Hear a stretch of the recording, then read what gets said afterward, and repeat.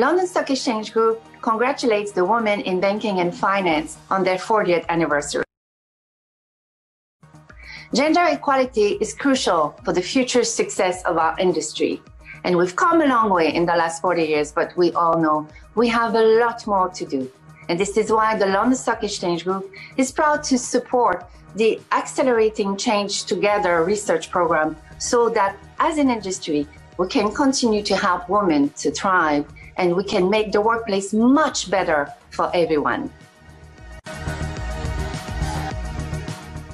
Women in banking and finance are celebrating their 40th anniversary this year. To commemorate this exciting occasion, we're also launching our Accelerating Change Together research program in collaboration with the London School of Economics and the Wisdom Council.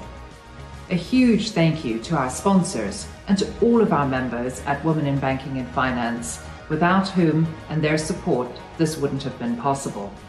Today we look forward to hearing the inaugural survey findings which will form part of that important report. Thank you for your support.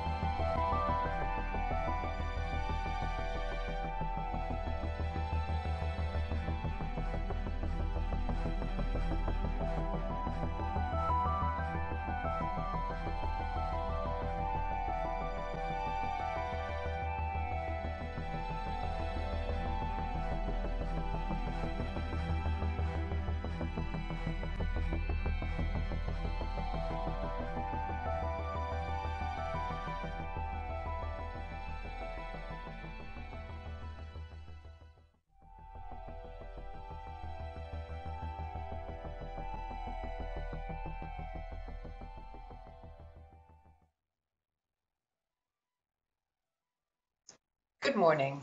My name is Vivienne Artz, President of Women in Banking and Finance, and I'm delighted that you're able to join us at the virtual market opening of the London Stock Exchange today.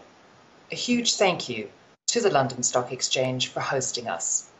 We are looking forward to an exciting event with the unveiling of WIBF's inaugural survey findings on our Accelerating Change Together research program presented by WIBF's Head of Research. This will be followed by a panel discussion with our very distinguished speakers, who will further explore and discuss some of the insights and learnings from the survey and what they mean for firms in practice. But let me start by sharing with you the journey that has brought us to this exciting moment. Why did we embark on a research project and the specific topic of the missing middle? The answer goes to the heart of WIBF as a one of a kind volunteer led, nationwide, not for profit membership network, which has been championing women in the financial services sector for 40 years. It came from the engagement with our members in seeking to understand what are the pressing gender and inclusion challenges that they are facing in their ambition to ensure that we unlock the full potential of financial services for all. And the message from our members was clear and consistent. The challenge is the missing middle, the critical talent pipeline, which sits between the entry level to our sector and the most senior levels. The success of achieving equality of opportunity and representation at both the junior and senior levels depends on the talent pipeline in the middle, and this is where we are seeing women's careers stalling or women leaving. Having identified the challenge, WIBF engaged with experts in the field to put together the Accelerating Change Together research program, with the support from our sponsors and expertise from the London School of Economics and the Wisdom Council. This is indeed an action oriented, groundbreaking, and unique endeavour, which will offer unique insights derived from the excellent work conducted during the extraordinary circumstances in which we find ourselves as a result of the COVID 19 pandemic. And practical recommendations will result as to what we can do to address them. Aside from the approach which reached out across the breadth and depth of the financial services sector, the results are distinguished by their unique timing, which is particularly helpful as we grapple with the future of the workplace and what this will look and feel like as a result of the COVID 19 experience, which has impacted us all and in different ways. So it is with great pleasure and pride, and to mark WIBF's 40th anniversary, that I welcome you today to the launch of this primary research, which gathers quantitative and qualitative insights, culminating in a report of actionable recommendations and interventions for our sector. Before I finish, I'd like to address a few housekeeping matters. The first is that we're using Slido today, which will enable you to submit questions to our panelists. To access Slido, go to WIBF LSEG, that's the code, and it's slido.com. In addition, the event is being recorded and a link will be shared shortly after the event. And now, I am delighted to hand over to David Schwimmer, who needs no introduction as the CEO of the London Stock Exchange, to say a few words. Thank you, Vivian. Good morning, everyone, and happy Thanksgiving uh, to those of you for whom that is a relevant holiday.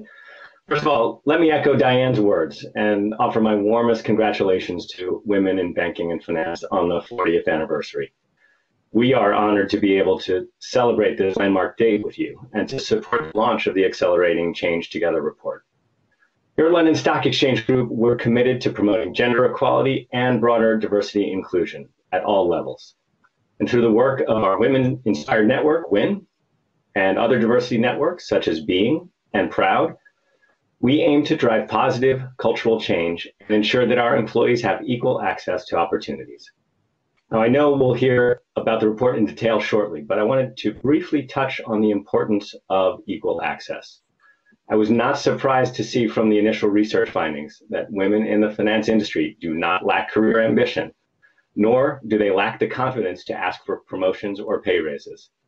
However, they sometimes lack access to career development opportunities, advocacy, and career advice. It is fascinating to witness the end of the stigma around flexible working, and that can clearly benefit women. I think these findings are really important as we try to promote equal opportunity and build a level playing field for both women and men from all backgrounds. And I look forward to hearing more about the report and participating in today's panel discussion. Congratulations again, and thank you. Thank you, David, for your warm welcome.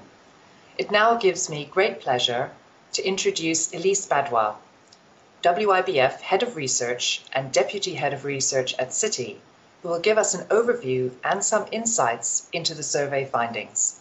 Over to you, Elise.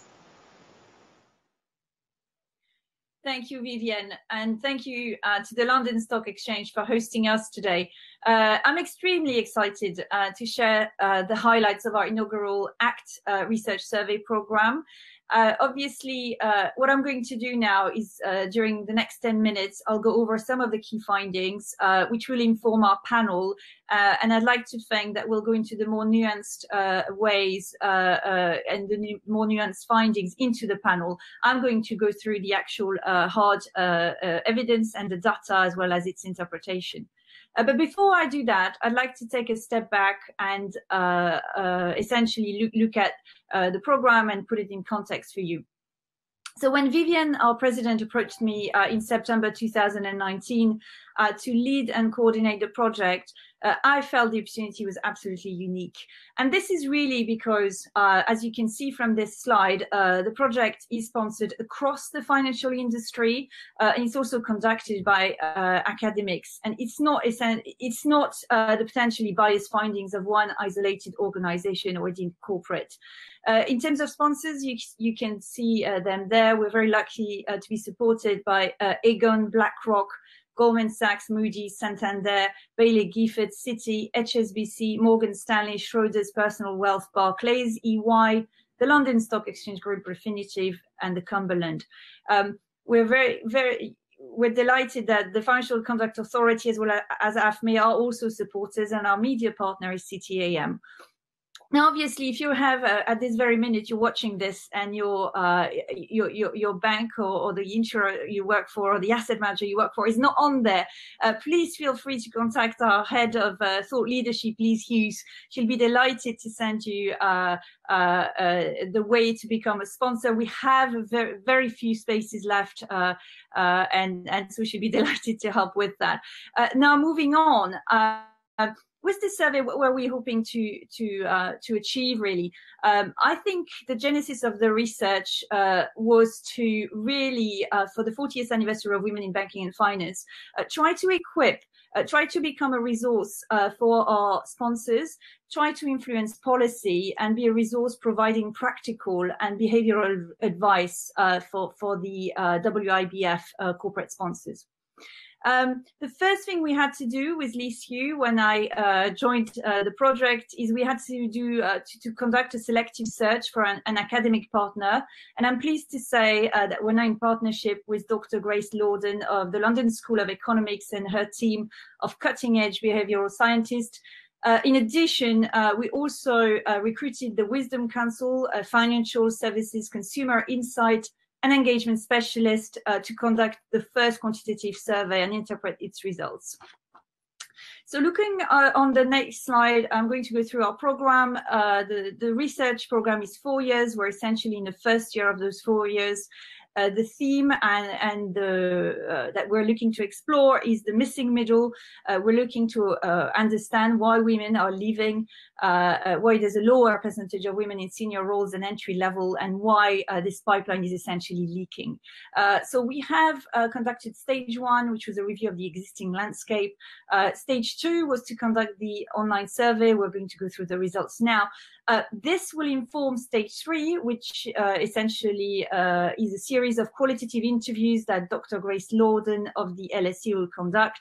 And then finally, at stage four, uh, we're hoping uh, that we'll come up with some uh, very insightful uh, inter possible intervention and practical recommendations for, for the corporates to implement and measure. So now onto, uh, onto the survey. Uh, the survey had in excess of 2,000 respondents uh, in terms of uh, it's a wide range of financial sectors that were polled. We also have good representations on on on type of roles and seniority. Uh, obviously, I should flag that uh, both men and women were polled, and then finally, uh, I should flag why also this was a unique uh, moment, obviously to to survey it, the, the, essentially the survey was pulled during the pandemic uh, and therefore uh, provide insight during what is, in my view, the largest uh, work experiment uh, ever attempted. What are the key findings? Uh, so I'm going to summarize broadly the key findings. Obviously, please refer to the uh, 20 page plus document that we've put out last Monday, and you can find all the graph, all the numbers backing the conclusions that I'm going to go through now. Uh, the first um, the first big conclusion is essentially uh, I'll summarize it as there's no aspiration gap. Uh, so women do not lack aspiration nor the confidence to uh, lean in and ask. Uh, and work is essentially a major source of satisfaction uh, to them, irrespective of their family situation. But there are differences in outcome in genders, uh, and women are more likely to perceive their career progress to be behind their peers. And we can talk here about uh, perception. Obviously, uh, on the panel we can debate it because we we don't know whether there's you know we couldn't poll uh, uh, we couldn't find out whether it was true that perception. But actually, this is definitely something that came out in the in the survey. Secondly, access to development opportunities is key. Uh, the majority of women um, uh, seem to be uh, failing to achieve a positive career cycle uh, of essentially access to stretch uh, assignment, uh, leading on to a sense of progress, leading on to optimism about achieving their aspirations. Um, and and that is something that that we that definitely we need to look into as we go into the qualitative interviews.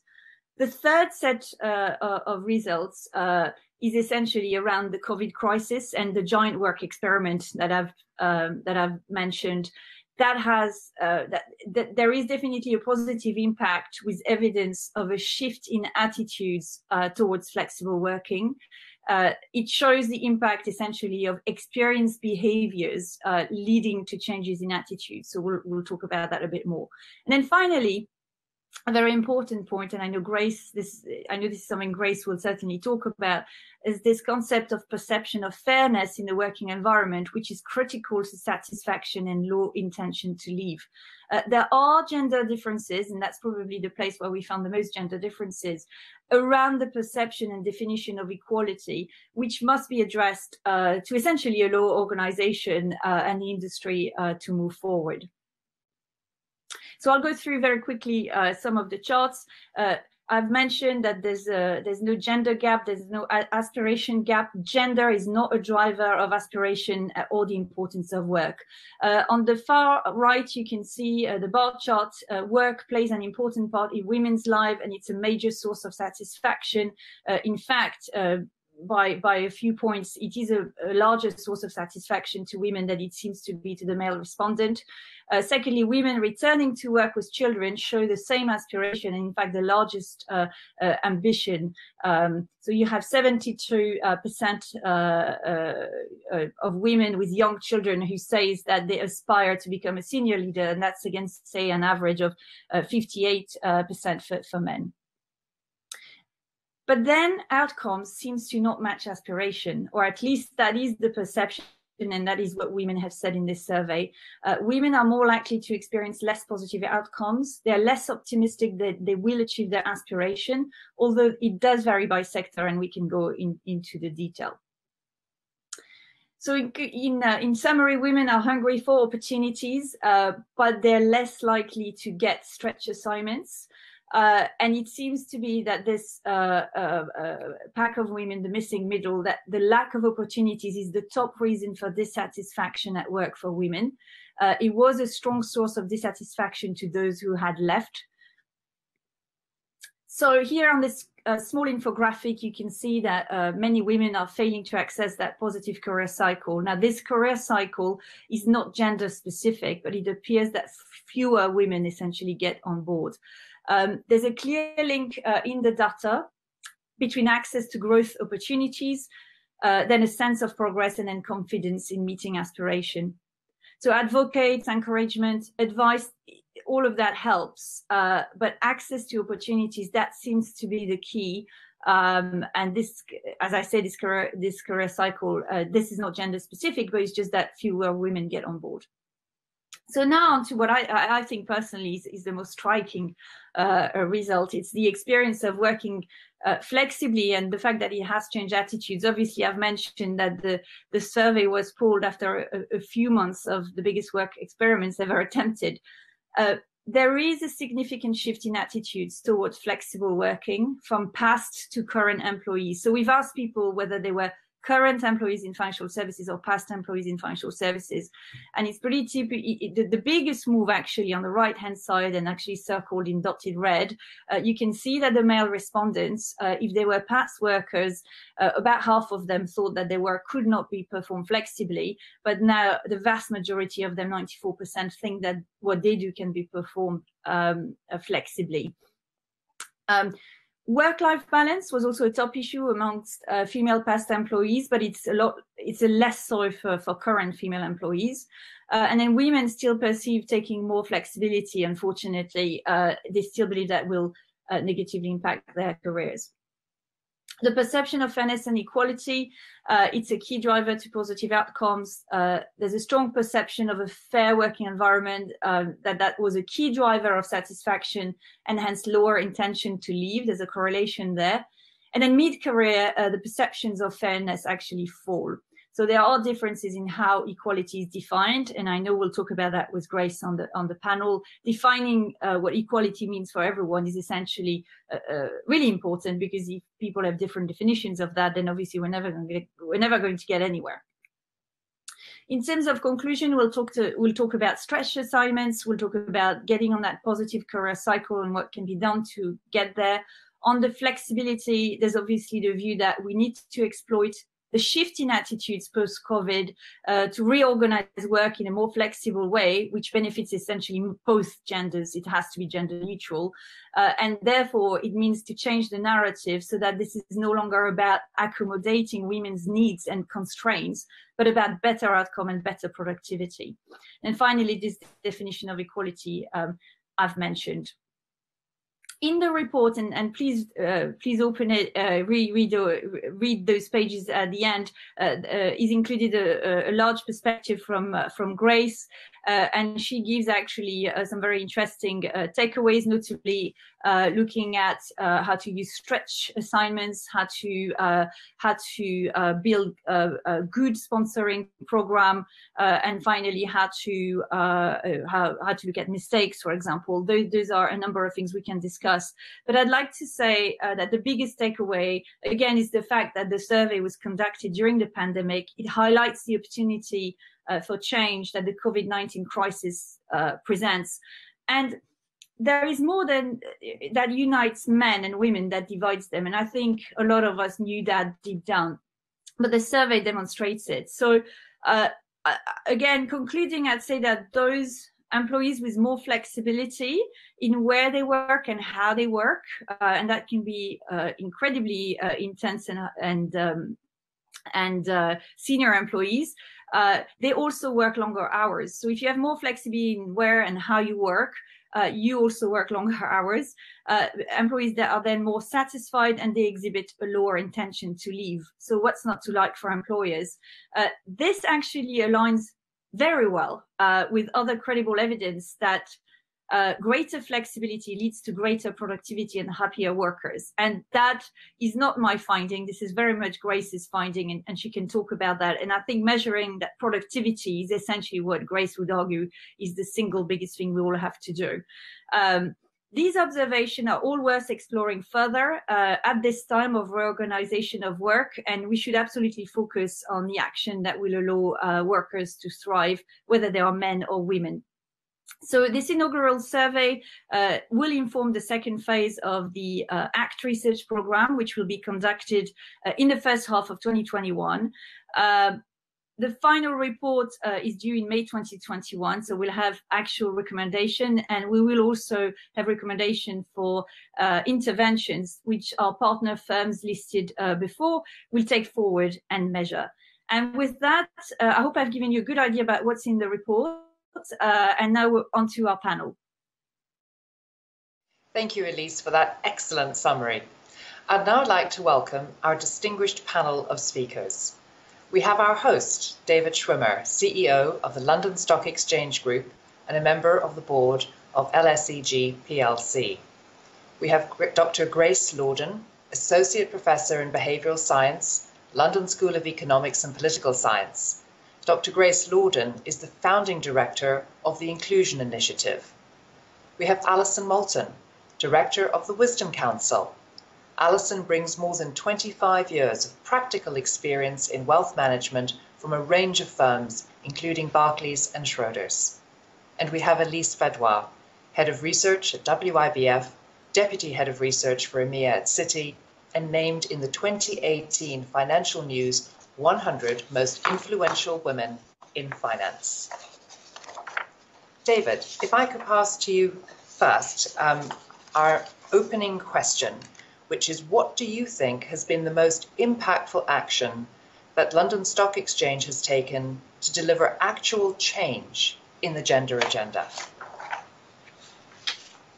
Thanks, Vivian, and great to be on the panel with you all this morning.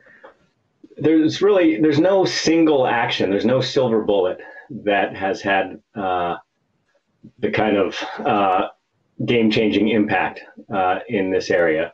I think it's really about a lot of different initiatives, a lot of different developments within the London Stock Exchange Group. And I'll just just to give you a few examples, we have worked with the 30% Club mentoring scheme uh, in terms of looking to develop, uh, t- identify and develop uh, talent. We have our Women Inspired Network, uh, which we continue to support around the world. Uh, and that has played a key role in uh, helping develop capabilities and inspire and identify women with extraordinary talent.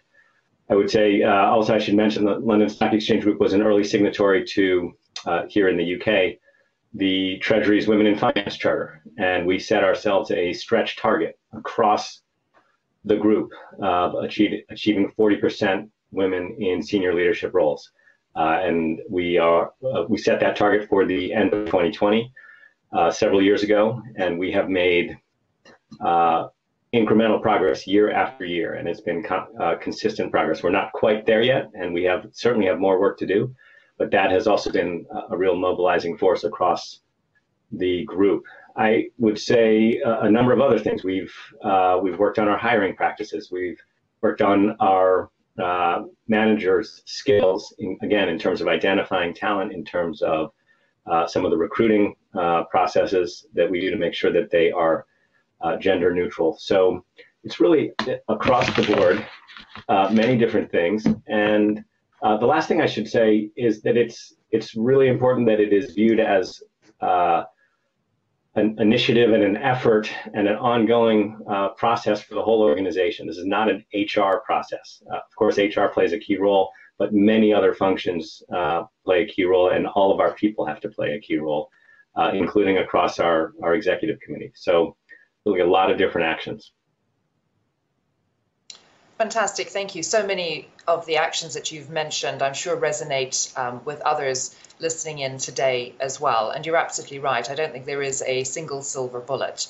Um, there's actually lots and lots of behaviors and specific interventions that we need to take in order to make a difference. Grace, I wonder if I could turn to you.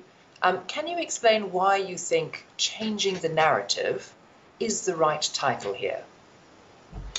Thank you, Vivian. You know, um, so my my first degree is in computer science, and I have a PhD in econometrics. And I spent, I think, maybe the first five or six years of my career being very disillusioned at the fact that I could create really credible causal evidence, and then somebody would come along with a story that really would be based on one particular anecdote, and that would be what would get the attention.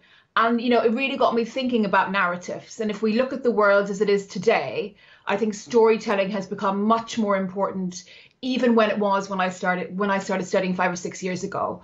And if I look at the findings of the report that's coming through, we usually start with the premise that men and women are different. So we usually start looking for differences and then trying to create policies that will allow us to retain women in the workforce.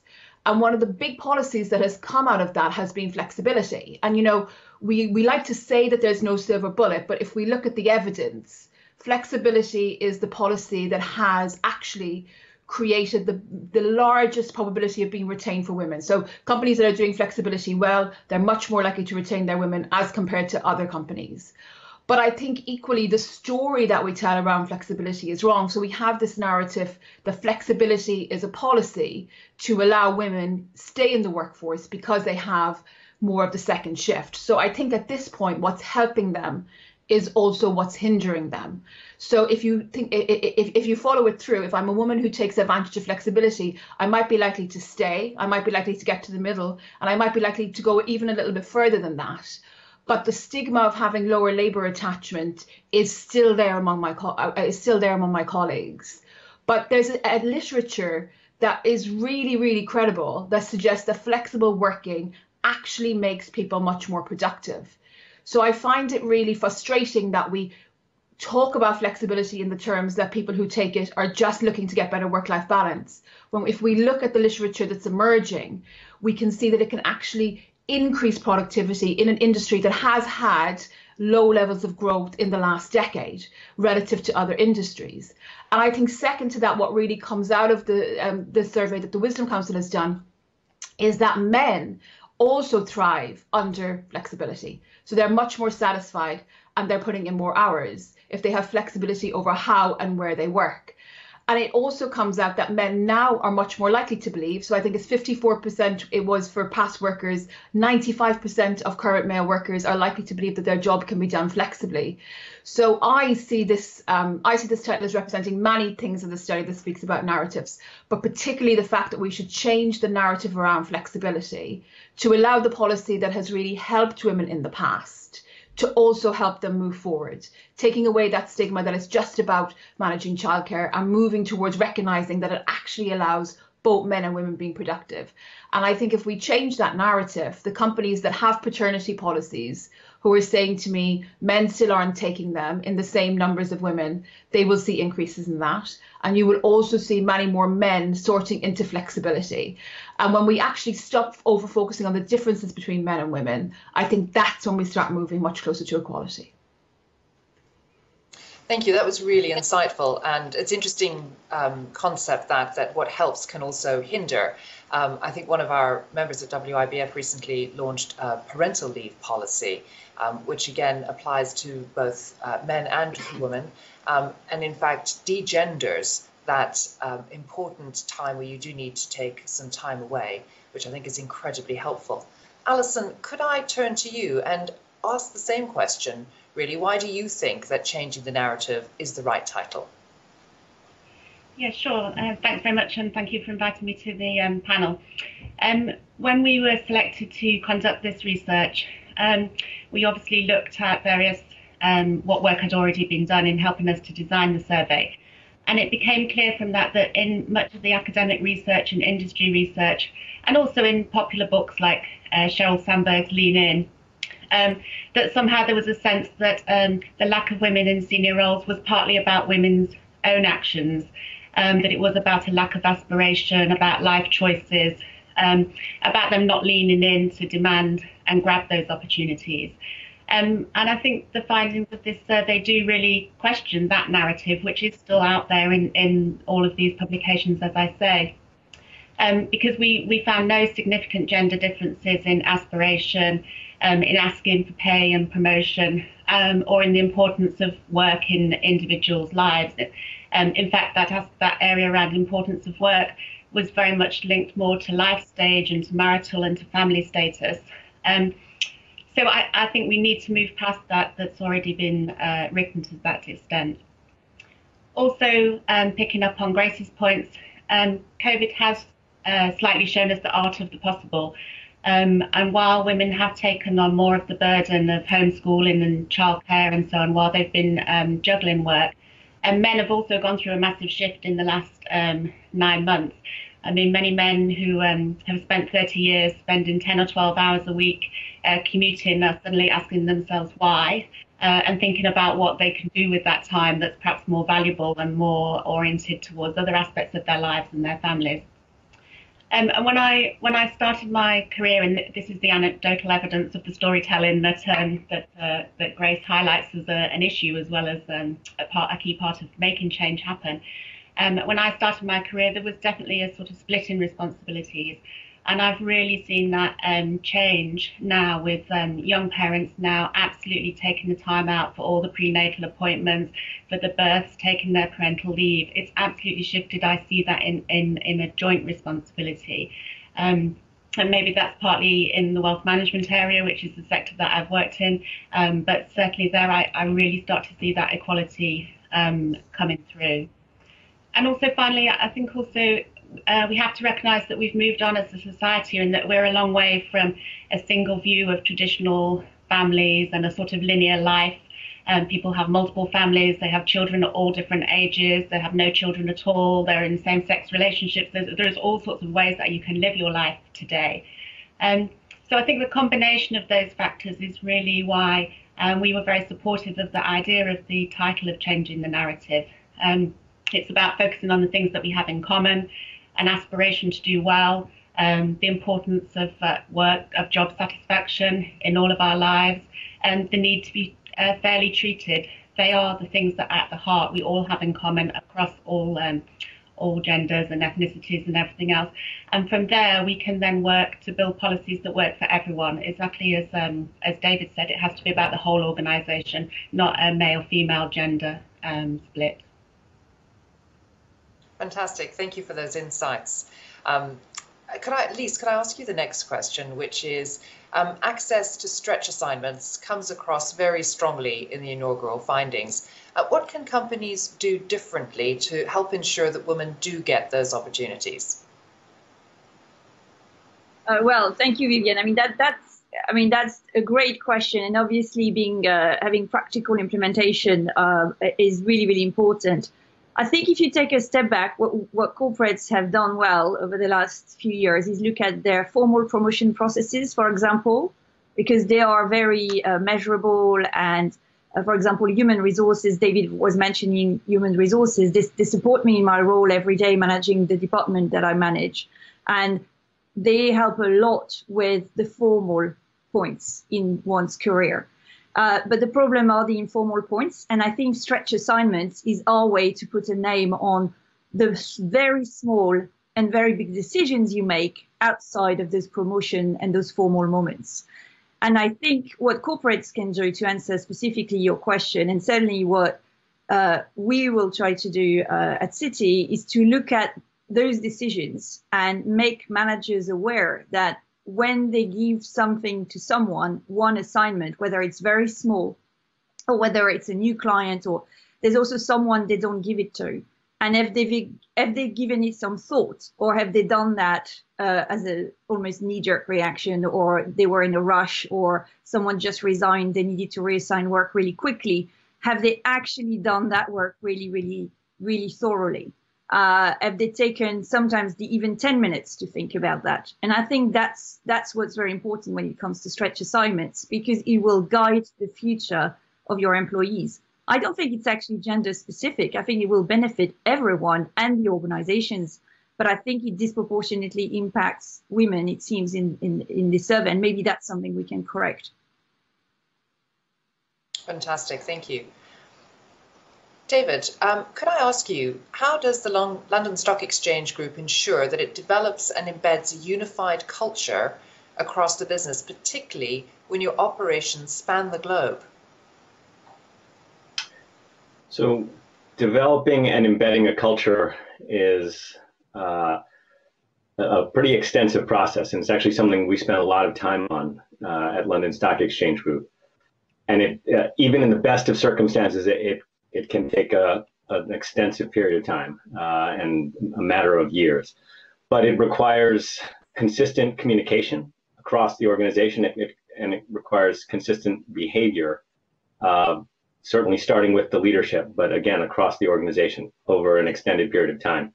I think pretty much, uh, I think every uh, or most organizations these days will uh, express a commitment to diversity, express a commitment to equal opportunity for all. I think it's incredibly important when trying to embed a culture that you see that not just being words and you see that in action. And uh, an example where I think we've seen that in action at London Stock Exchange Group is in the uh, the real vibrancy of our networks. And last year, uh, we rolled out our uh, inclusion network, launched our global inclusion network, which has acted as an umbrella network for all of the other networks within the organization. I, I already touched in my remarks before on our Women Inspired Network, which continues to grow and do terrific work on a global basis.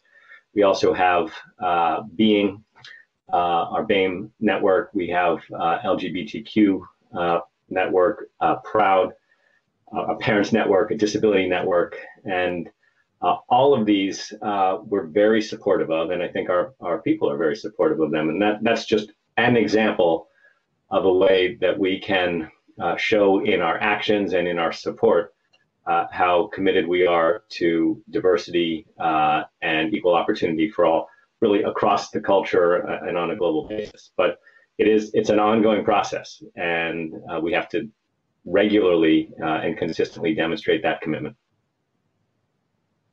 Thank you. That was really insightful because I think one of the big challenges is how do you approach this consistently across different countries, different cultures, and different parts of the workforce. Um, Grace, could I ask you uh, the next question, which is the survey found that women were less certain in their careers and more likely to see barriers. Do you think that's partly that women are just less confident and more likely to express those, th- those concerns, or do you have another view? You know, so I mean, kind of building off of what Alison says, I think we need to be very careful about interpreting this as women having lower levels of confidence. So I think the starting point, and you know, we are in LSEG today who um, spend a lot of time um, gathering, um, um, um excuse me, uh, spend a lot of time um, creating indices and thinking about market data and statistics. So I think the answer to this um, particular question is about how can we measure it to learn about whether it's about the women's perceptions themselves that something is holding them back when it's not or whether there are actual obstacles in their way and i think given the what's coming through in this survey I would be willing to bet that it's the latter rather than the former. And you know, I think that there's a, kind of a, a, really good saying that goes around diversity and inclusion: "What gets measured gets done." And I think this is really relevant here.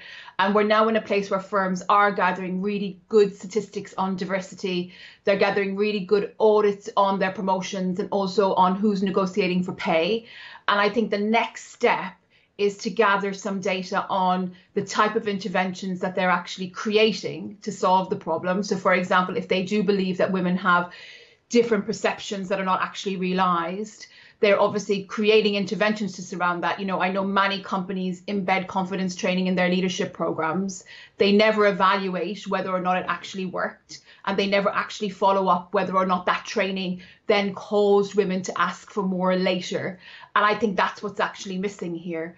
Um, so, you know, to take Alison's um, line, I think we should change the narrative around whether women are actually asking for more. We can audit it, which tells us a bit about their confidence, but we can also look to see whether or not there are obstacles. And kind of building off of what Elise said, she pointed out, you know, the stretchy work is really important.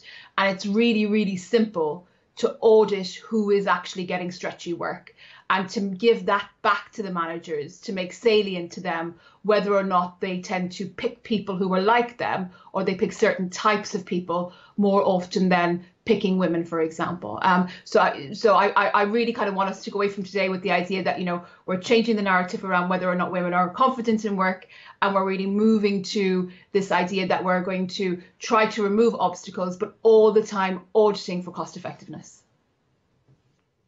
Thank you, Grace. I, I love the science of the measuring part of it as well, um, in order to actually determine whether our measures are being effective.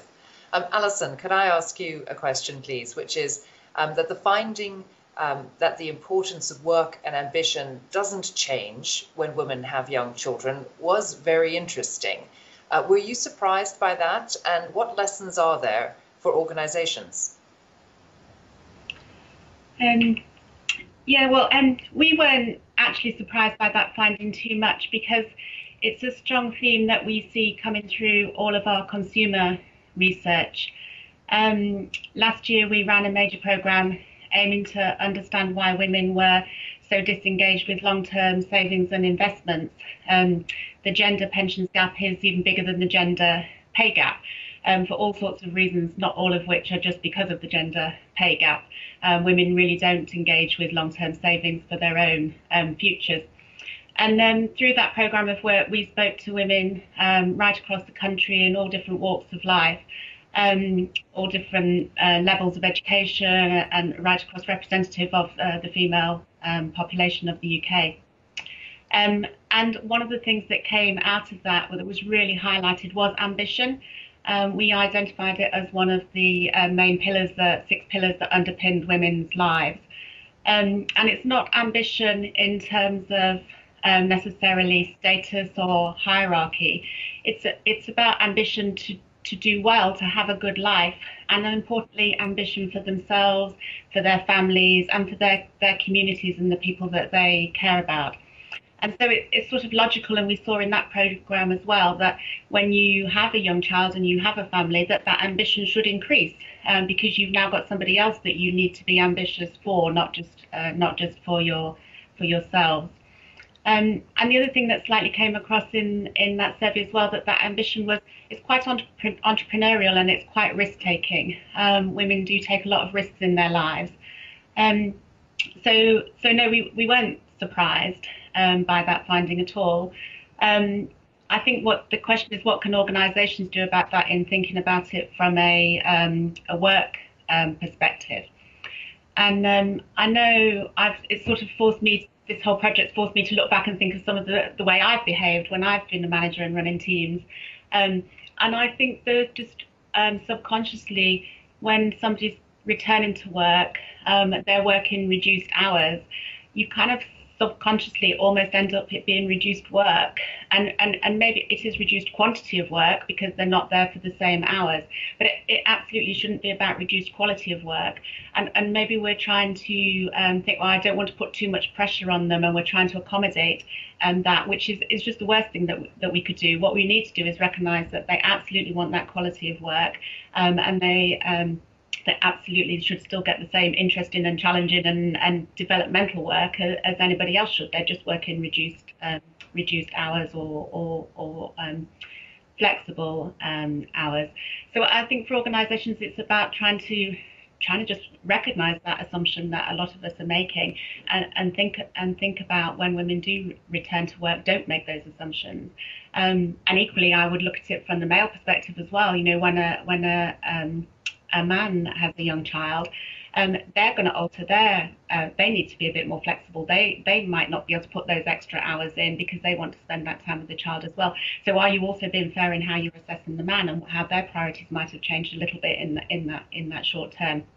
So I guess again, it's not making assumptions. It's really trying to understand that individual and, and what is important to that um, to that individual. It goes back to David's point about management training. Really good people management training is, is to me the key to this.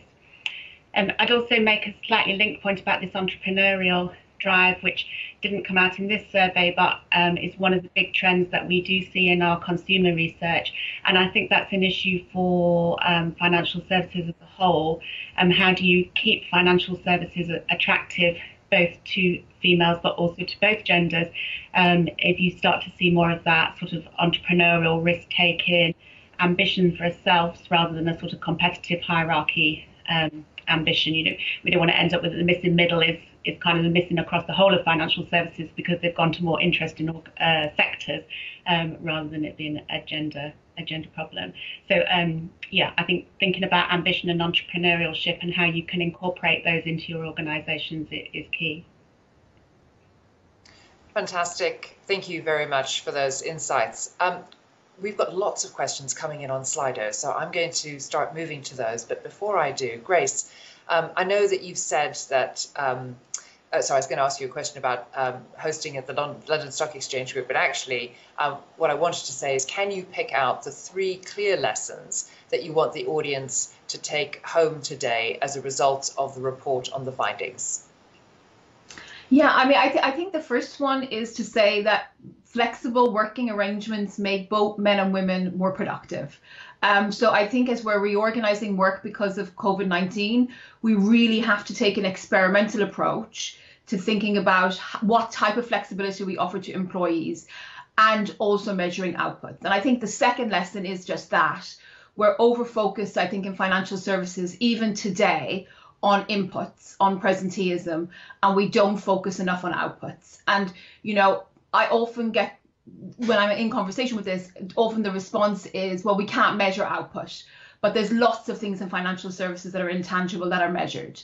Um, so I think that if we actually move towards thinking about how do we actually measure output, yes, there'll be uncertainty, but I think there's no better industry to understand, you know, standard errors um, and how to actually interpret that uncertainty than the financial services industry.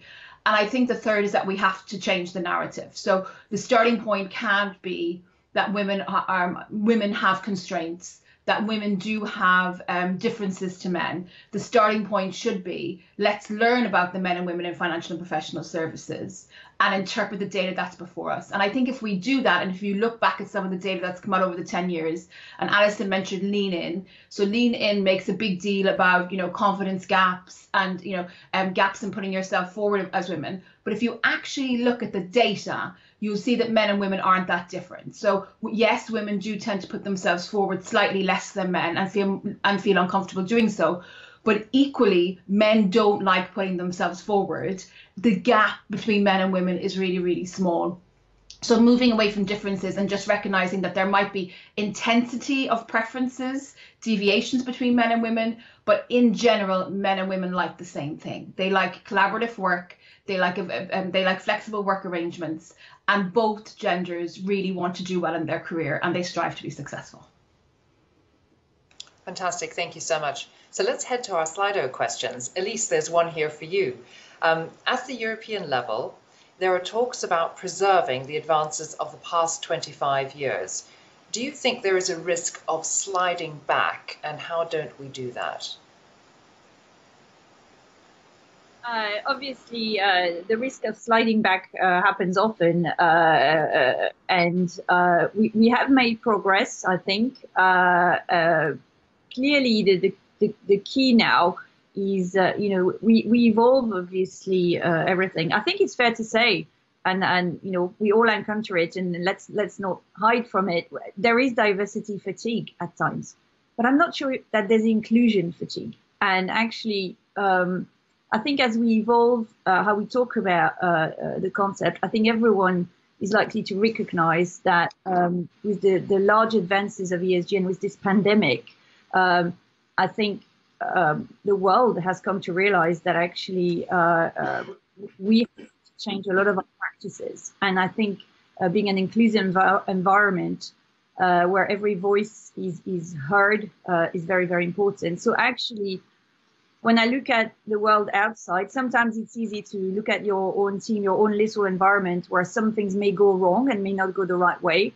Uh, but when you look at the big trends around the world, I'm actually um, I'm actually an optimist, and I think uh, um, the, it's moving in the right direction. Um, and I just look at at you know in the investor world, impact funds actually asking for that inclusion data. Um, and uh, and now perhaps uh, you know essentially investing on the back of it and and not giving funding if, if they don't see that that being really actually happening in the corporates they want to invest in. So I'll just use that from my personal uh, uh perspective as as an analyst. Terrific, thank you so much, um, David. Here's a question from Slido for you. Um, do you have um, direct interactions with young female talents? Your words of encouragement would mean a lot to them. I do uh, on actually a pretty regular basis, um, and I, I, try at least once a week to spend time uh, with our people uh, at a, uh, an informal basis. Uh, yesterday, I actually spoke to uh, a women's network that includes some people within LSEG and some outside. I think I agree. I think it is really important that I and that our our senior leadership uh, really across the group do spend time with our people uh, at all levels just to make sure that we have that kind of connection and that people have uh, the opportunity to uh, really engage on these topics. Um, I think it's you know it's, it's, not just about my spending time with people. I think this is an opportunity for uh, other uh, senior leaders, men, women, to take the time to connect with our people, both within our own organizations, but within other organizations, uh, and make sure that we're talking about these issues. I think one of the, the most important things we learned uh, this past year, uh, in particular with respect to the Black Lives Matter uh, movement, was that within so many organizations, it's awkward to even talk about uh, issues of uh, ethnicity or racial diversity. And we have to get past uh, that kind of awkwardness, whether it's gender issues, whether it's uh, ethnicity issues. We have to create environments where it's okay uh, to talk about these kinds of things, uh, not just okay, but encouraged. And I think that has had a big impact for us already. But again, lots more to do. Fantastic. Thank you so much. Um, Grace, here's a question from Slido for you. Um, has COVID 19 been a bit of a blessing in disguise in terms of this entire dialogue?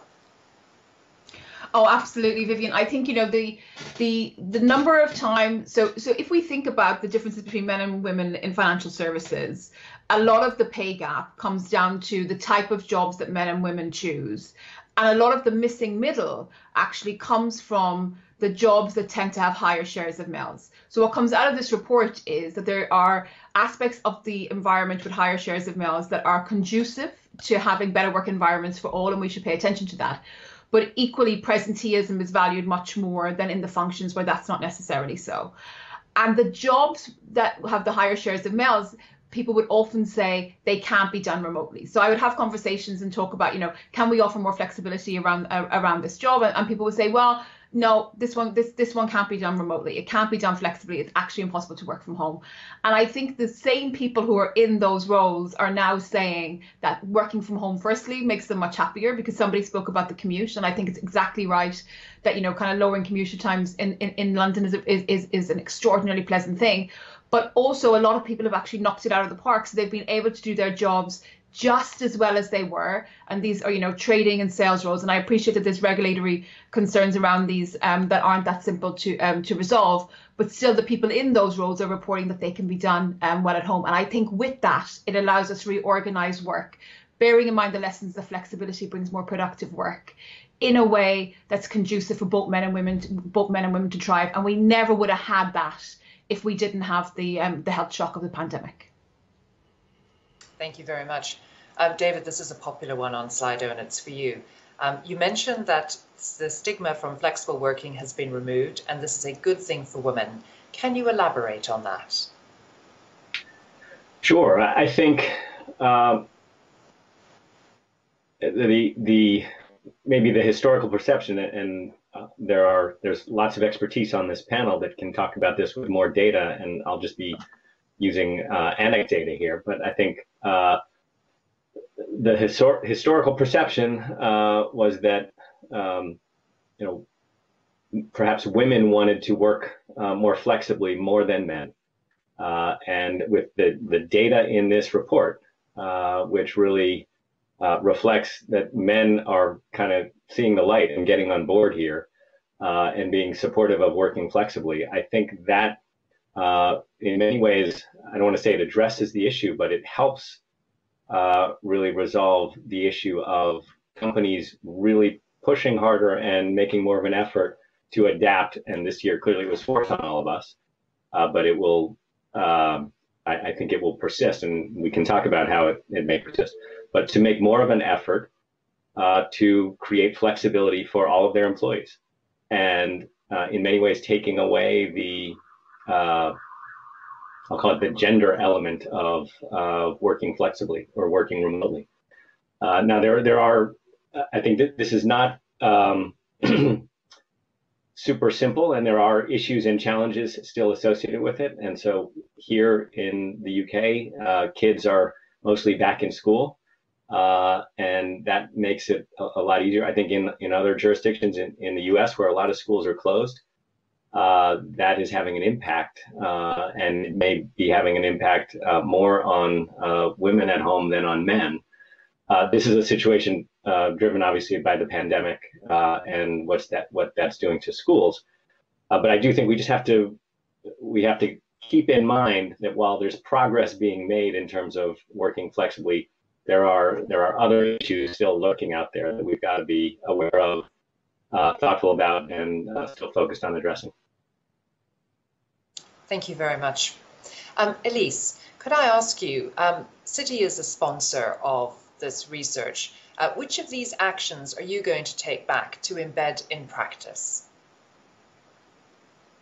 Uh, well, obviously, Vivian, we want to wait. Uh, uh, there'll be more actions and more, more perhaps specifically uh, uh, defined actions by Grace uh, in May 2020. And please, everyone should look out for those. But in terms of the early findings and, and, what we have already in this report, um, I think the two uh, more pressing ones that Citi uh, was already partially working on, but definitely uh, now working very hard on. one, stretch assignments. I've mentioned it. And I would mention stretch assignments because actually this, this topic here is the missing middle. But where I've mentioned, uh, you know, you have essentially uh, those formal promotion points and you have the in-between points. Uh, that's true about the missing middle. But remember that obviously once you make managing director between managing director and C-suite, uh, essentially it's all stretch assignments. Uh, so uh, this topic is also very, very important for, for the, the, the sort of uh, the, the, women at the top uh, situation as well. Um, so it almost addresses um, a number of issues, not just the missing middle. So I think stretch assignments, first one. Uh, and then obviously we are working really hard to understand how we make the most of our work experience with, with the COVID and we have a number of, of, of traders who have traded for months actually uh, from home, um, uh, which was unthinkable. Um, how do we take that and how do we build build perhaps some flexibility in some of the roles we never thought could have some flexibility? Uh, that's that's the second uh, big big uh, job, and so uh, I, I, would I would call those two. I, I, am very keen to hear more. We have findings, and I, will invite everyone to read the research, but on mistakes and treatment of mistakes, we have uh, we we have a number of other uh, smaller, perhaps more micro decisional findings which we need to look into. But I would call uh, stretch assignments and uh, sort of informal, flexible working. I would call it are the two areas that we we at Citi will definitely work very hard on. Thanks very much, Elise. Um, interesting you mentioned the mistakes piece. Um, Grace, I'm fascinated by the exploration of gender differences in mistakes. Can you explain your thinking behind this suggestion? Yes, so you know, so coming if, if, if you listen to anecdotal evidence, um, women in financial services do say that they're treated differently when they're make made when they make mistakes as compared to their male peers. And we thought it would be interesting to explore this further in the survey that we put out. So there were three questions on it. So it asked about whether mistakes are seen as learning opportunities, whether people are penalized for um, whether whether people are penalized for mistakes and lastly whether or not people would feel that they could actually speak up very easily when they make a mistake. And this is where we find you know big gender differences in the survey which is really fascinating to me. So women are much more likely to report that they will be penalized for mistakes as compared to men. And in comparison, men are much more likely to see um, mistakes as learning opportunities.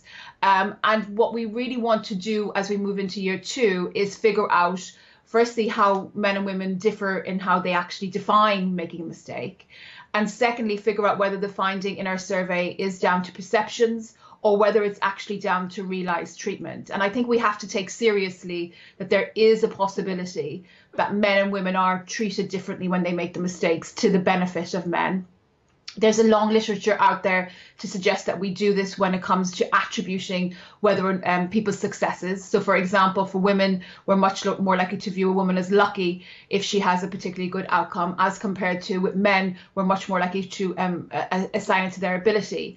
And I kind of see the mistakes as the upside down version of that. So, kind of looking at when you do do something that isn't necessarily good what is the reaction from colleagues? And of course, if I put myself forward for a stretch assignment and I make a mistake on the first stretch assignment and I'm penalized for that, I'm probably less likely to be pushing for the second stretch assignment if it's not necessarily um, offered to me. So, you know, in behavioral science, we like to say that, you know, small things that happen to us can have disproportionate effects on our outcomes.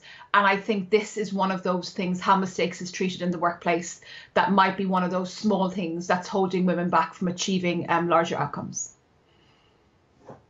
Fantastic. Thank you very much. That's quite a challenging question. Uh, David, could I turn to you? Um, the survey was carried out during COVID 19, which is one of the unique features of it. Um, what is your biggest D&I learning from the COVID crisis, and what will you be doing differently as a result in future? A big question. Yeah, we've we've learned a lot during this COVID crisis. I think a couple couple different aspects of it. First, maybe I'll just start with communication. So in the past, we would typically have a survey of all of our people once a year. Uh, and since March of this year, I think we just completed our third survey. So just a lot more communication, and that's an example, but uh, uh, of communication, a lot more communication uh, with our people, and that's both uh, to uh, all of our people, but also surveying uh, their views and hearing more from them. And I think that will certainly persist after we get out of this. I would say we have more focus on our people's mental health uh, and that was probably not, uh, well, it certainly was not nearly as much of a focus uh, prior to this. Uh, and during this year, I think we've had something approximately uh, 300 of our uh, of our colleagues have gone through mental health awareness training. so that they can then be a resource to their colleagues. and so to have those 300 people sprinkled throughout the organization of, of a broader 5,000 uh, is a new resource for us. Uh, and I think we'll see that kind of continued emphasis on focus on uh, mental health and mental health awareness uh, continue after this. I think, uh, and I, I, probably won't spend more time on uh, the remote working, but we've learned an incredible amount about flexible working or remote working, and that will have a, a long uh, longstanding and persistent impact. And again, uh, there's great research on that uh, in this report, and we've heard uh, from some of the experts on that. But that will have an impact on us. And then maybe the, the last point I would just touch on is, and this maybe not a direct outcome of the uh, the pandemic and lockdown, but certainly an, an, outcome of the discussion this past year on on diversity uh, issues, is just making sure that that these issues are uh, acceptable to talk about and really uh, out there, uh, and that there's no taboo about talking about them, uh, and that we should all be talking about them. And these are not issues that uh, just women should be talking about, or just Black employees should be talking about, uh, or other groups, but they're they're part of the overall organization and part of our overall culture, and we should all feel comfortable uh, talking about them and, and having them be part of our regular interaction. Super, thank you so much. Grace, we're almost coming to the end, so I'm going to ask you to answer this one quickly, but it's a loaded question. Um, rising hours worked when working flexibly may increase output, but does it actually increase or improve productivity? Oh, Vivian, you should never ask an academic to answer the last question quickly. I'm not. I'm not sure I'm capable of that. But I think you know the, there is evidence to suggest that flexible working arrangements does improve productivity. Um, and I think the I, I, like to distinguish between what I call the stock of knowledge and the flow of knowledge. So the stock are things that I feel comfortably saying as stylized facts, and the flow of knowledge is things that we're learning about.